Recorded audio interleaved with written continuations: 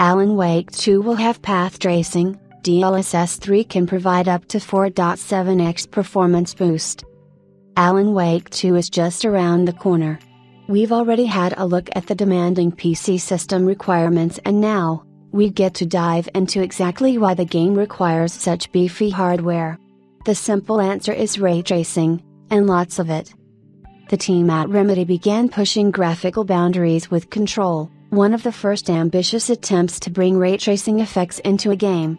While many games at the time were sticking to either shadows or reflections, Remedy opted to include a more full suite of ray tracing effects and control, including transparent reflections, shadows, diffuse lighting and even ray trace debris.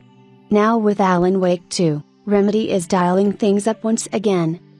Alan Wake 2 will ship with full path tracing, becoming one of just a handful of released games to support the technology. This unlocks the full potential of ray tracing but it comes at a heavy performance cost, which is where DLSS 3 comes in. DLSS 3 is currently an essential requirement for achieving truly playable frame rates with path tracing enabled, which is the main reason you can't switch it on in Cyberpunk 2077 without an RTX 40 series GPU.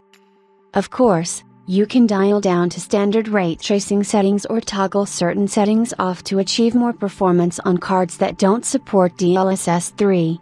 If you activate DLSS and ray tracing in Alan Wake 2, NVIDIA's ray reconstruction technology will automatically switch on too, so you'll get better RT fidelity while using the AI upscaling to save on performance. In Alan Wake 2, the RT medium and RT high presets both enable path tracing, with the medium setting offering 1 ray bounce and RT ambient occlusion on the last hit.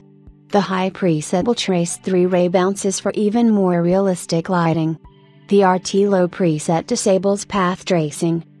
Alongside the RTX launch trailer for Alan Wake 2, we also get our first benchmarks. According to Nvidia, at 4K with an RTX 4090 and DLSS 3, You'll be able to max out the game with ray tracing and still achieve 120 FPS. Meanwhile, RTX 4080 users should see a 4.1x performance improvement with DLSS 3. At 1440p, RTX 4070 users will be able to achieve 80 plus FPS with max settings, including ray tracing. Alan Wake 2 officially releases on the 27th of October. The game is also a freebie for anyone picking up an RTX 40 series graphics card this month.